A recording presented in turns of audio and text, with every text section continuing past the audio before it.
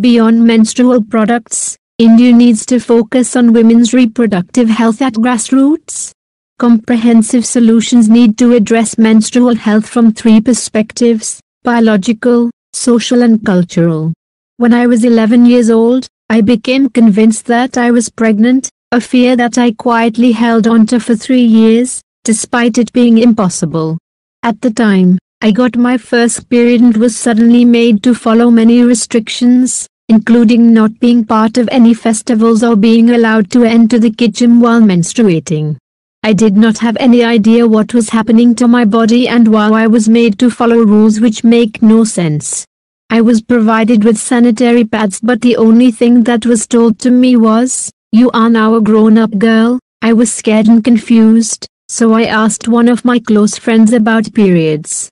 She told me, you now have the seed of the baby, with no one to speak about what was happening and all the inaccurate information provided, I thought I had a baby in my stomach and lived every day for three years with the fear that the baby would pop out anytime.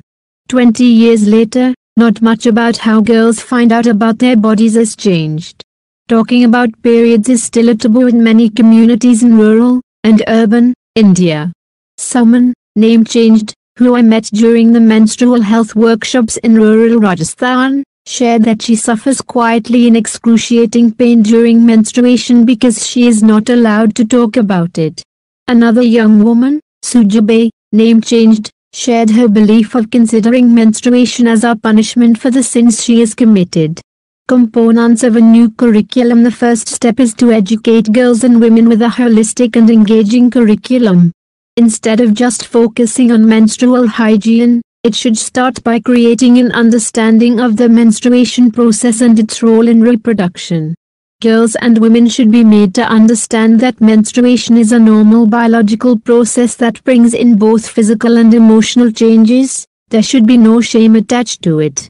Hygiene is important, but girls need to understand what is happening in their bodies. A core part of this curriculum should also address menstrual disorders, which are one of the most ignored health issues in low-income countries. A study found that there is a high prevalence of painful cramps, heavy menstrual bleeding and menstrual irregularity among young females. Because of poor understanding of these issues, many don't receive timely diagnosis and relief, which affects working abilities, and leads to school dropouts and severe reproductive health outcomes, including infections and infertility. Having this curriculum is a first step, but then we need to make sure it reaches to all girls and women. For that, we need to broaden our current policies and schemes such as a menstrual hygiene scheme under the Rashtriya Kishore Swasthya Karyakram, which are directed towards adolescent girls leaving behind women who are equally affected by deep-rooted cultural and social taboos trained and sensitized grassroots trainers. The other important aspect is that the curriculum needs to be delivered by well-trained facilitators. Unfortunately, in many rural schools, the girls have told me that despite being part of the biology course, the teachers either skip or are uncomfortable explaining topics related to menstrual and reproductive health. This was my experience in school as well. For example, one of the community health workers strongly believed that women should sleep separately while menstruating and conveyed that to other women.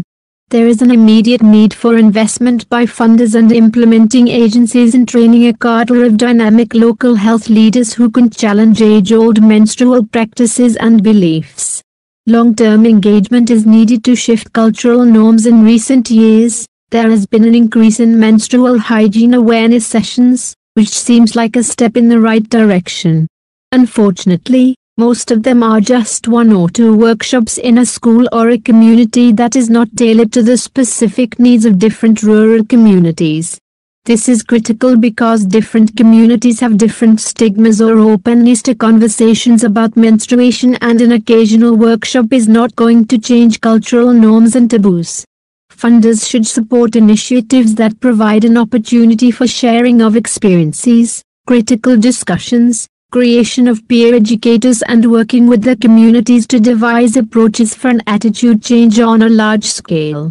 Some may argue that workshops are important but aren't enough.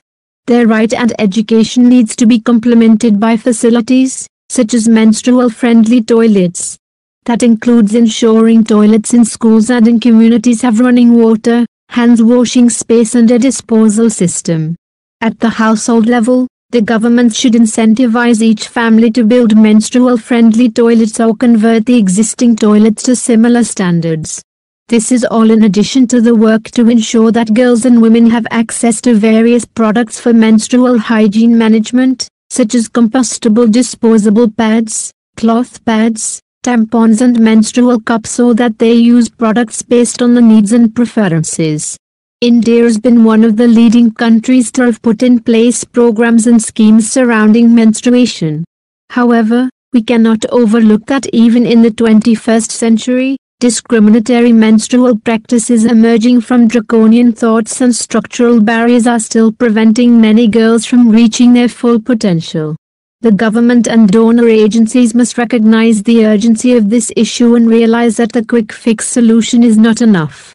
Comprehensive solutions need to address menstrual health from three perspectives, a biological health perspective, a social and cultural perspective and as a matter of sexual and reproductive health rights. Our girls and women, like Suman and Sujabe, can only have an equal opportunity to excel and prosper if we remove the stigma from menstruation. Monalisa Puri, PhD, is a medical researcher and the head of Women Wellness Initiative and Enrich Health at the Barefoot College working with women and girls in rural India.